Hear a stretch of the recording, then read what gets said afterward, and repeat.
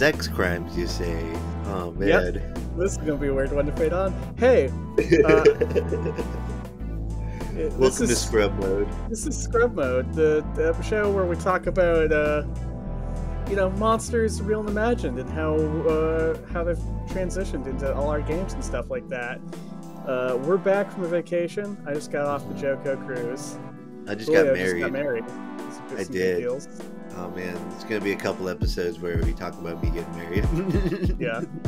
but you know, I mean, it's a big deal to be fair, right? it is. Ryan's not can make it. It's fine. Fine. He's Um, but okay. he's doing good. Don't worry. yeah, he's doing um, great. But yeah, we're. I guess if I were to, if I were to, if you were to make a Venn diagram, Julio, of cults and ancient Rome, uh huh. I think the middle would be sex crimes. No. Oh, I can imagine. Yeah. Yeah. Uh, we're, we're we're taking another break from D and D to talk about uh, a story I can't get enough of because it feels very relevant to today. Huh. Let me saying what do you know about Rome is definitely too broad, but like Yeah. it's a city that's been around for millennia, I guess. yeah, basically. Know.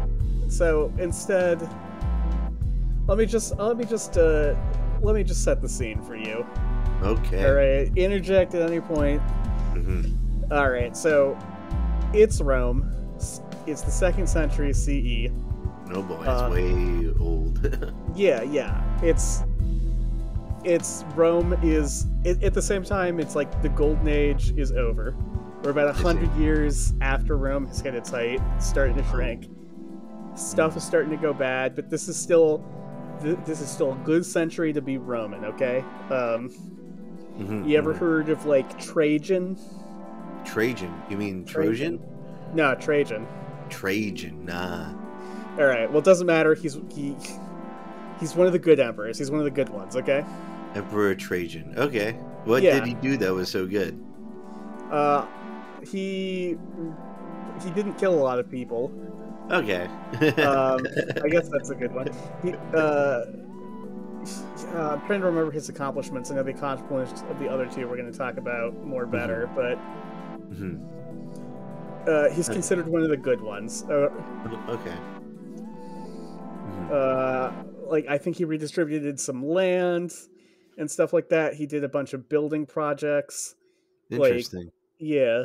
Uh, I should have written down more of this, but we can't get too stuck on this guy. How, how many centuries before the Renaissance is this? This is so Renaissance is like depending on who you ask and where in the world is like the 1400s. So this is Mhm. like tw- 1200 years before that. Oh wow, quite a long So this time. is like two like 200 years after Jesus died, but 1200 years to go. uh huh. To Or 100 years. Uh huh. Hundred years to get to. Yeah. Okay. Yeah. Uh Adrian is another one of the good emperors. Have you heard of that dude? hmm Uh, which one? built a What- what- wall. what's this guy's name? Adrian. Adrian, Emperor Adrian. Adrian Adrian with an H, Hadrian. Hadrian, Hadrian. I see. He built a big wall to keep the Scottish out. Oh boy, he's the Trump of his era. Yeah, uh, I mean, yeah, I we should be excluding the Scottish. I personally love the Scottish. yeah, But, uh, Yeah, I guess you could say that. He's that that really does like if if the good emperor is kind of Trumpish. Um, Mm, Also, this dude suppressed a Jewish revolt. Um, oh, okay. uh, so but he was one of the good ones. God, this really sucks. He's one of the good. He did do a few genocides, but he was one of the good ones. Okay. he did less genocides, Um, or maybe not. yeah, I mean, yes, yeah. Uh, uh, how about uh, Marcus Aurelius? Have you heard of that emperor? Uh, no. Okay.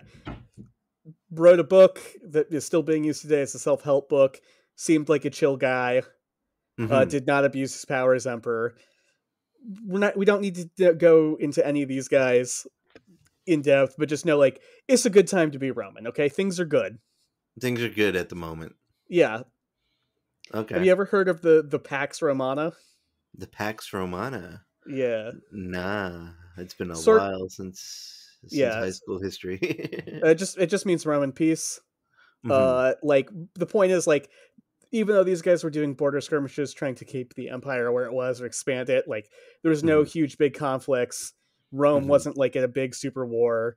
Not there was a lot of people money. were starving. Yeah, exactly. Like this is if you had to be a Roman, this is especially a low class Roman, this is one of the times you'd want to be one. Okay, okay. Yeah. Um Mhm. anyway, so it's good to be it's good to be Roman and here um here is where we get into our hero or bad guy of the story. Okay. Um so most of my loot most of my information on this dude who we're about to talk about, the Scrifter, comes from a dude named Lucian of Samosata. Mhm. Um, he's an Epicurean philosopher, and he he he wrote he was like some of our only surviving writings about this story come from this guy, and so for a long, long time, people thought it was like Atlantis or Plato's Republic, where people thought like, oh, this is an allegory, right? oh, I see. Uh, what's what's about to happen is so unbelievable and shitty. People thought it was a, a moral story. Uh, but then we found actual artifacts of this cult, and we're like, "Oh fuck, this dude was for real." Oh man, it's Uh, crazy. so I bring this up just to be like, he's my only source here. So, and he fucking hated these guys. So we can't take everything he said. Like, take what he says with a grain of salt. But also, Uh-huh. we're pretty sure he was right about most things. okay, okay. Okay. So our story starts here in Abonoteichus, which is in modern day Inebolu, Turkey. okay. Uh, Hmm. so I want you to picture like this is on the Black Sea. oh, so boy. it's like chill beach, like chill beachy vibes. Mhm. uh Black fishermen like this is the venice beach or the jersey shore of ancient rome Oh man. Oh dude. Yeah. okay. Coastal Uh, communities. I see. Okay. but like a very specific kind of coastal community right with like i don't know Mhm. Dudes selling weed and tourism Right. and like rich people flocking here to Uh-huh. spend money on crank cures I see. I see. Oh, so like, so like new agey type of stuff. New agey Yes. before new agey was even new agey, right? Uh, yes ooh uh, mwah, you're genius exactly that I see. Okay. yeah okay.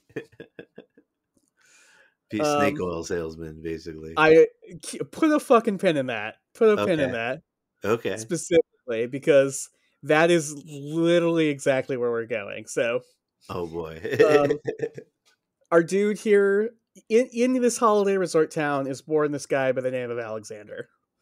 Mhm. Um, and at least according I'm get, at least according to Lucian of Samosata, he was uh he, I, he wants you to picture quote mentally configure a highly diversified soul blend made up of lying, trickery, perjury, and malice.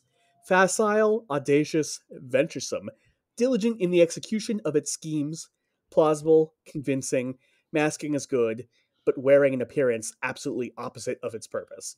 So that was just a ba- fancy way to say that this dude was a two faced liar. This okay. dude was a huge grifter. Huge grifter. Born to be a grifter, and he was definitely a high functioning sociopath. So, you know, what was really big in Rome at the time is exactly what you're saying was the medicine shows. Mm.